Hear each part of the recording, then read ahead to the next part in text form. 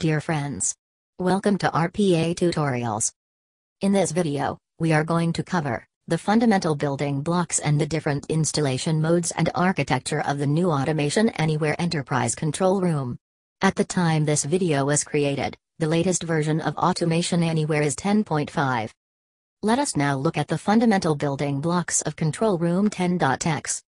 Understanding of these building blocks is important when deciding the type of control room installation. There are three fundamental building blocks of the new control room.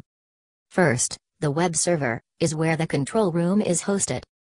Second, the server repository, is where all automation scripts are uploaded from development clients and downloaded onto runtime clients at the time of execution. And the third block is the SQL database, which provides RDBMS to store all control room configuration data like schedules, user details, roles, etc. These three are the fundamental and necessary building blocks of the control room. The server repository and SQL database are also collectively known as shared data and services or the data tier. And the web server is also known as the application tier.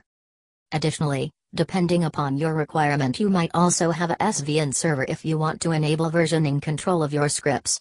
And a WebSocket server if a secured SSL connection is required to the control room. The Automation Anywhere Enterprise Control Room Setup Wizard allows you to select between two installation modes.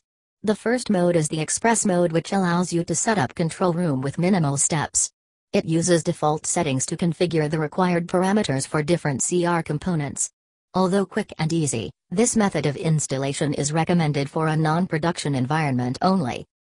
The second mode is the custom mode which enables you to install the control room using your choice of settings.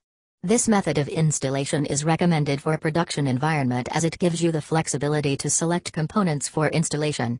It is further subdivided into standalone and distributed modes depending upon how you choose to configure the application and data tiers. In the Express mode, all three building blocks are installed on the same machine or server, with default settings. The server box then links to client machines which can be hosted on the same domain or a different domain as the server box, but should have two-way connection enabled at required ports.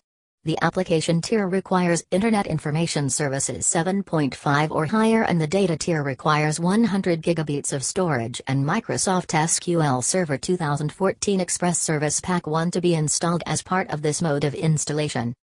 The custom standalone mode has a similar architecture to the Express mode with all three building blocks hosted on the same machine. However it gives you the flexibility of custom settings for the different components of the control room. For example, you can choose where to set up the repository, set up database and database users as per your requirement, choose between non-active directory or active directory enabled control room etc. In the custom distributed installation, the data tier or the shared data and services block sits on a different machine or server. Both the machines that host the application tier and data tier should be on the same domain. There are several other possible architectures for the control room setup as well as shown in the below diagrams.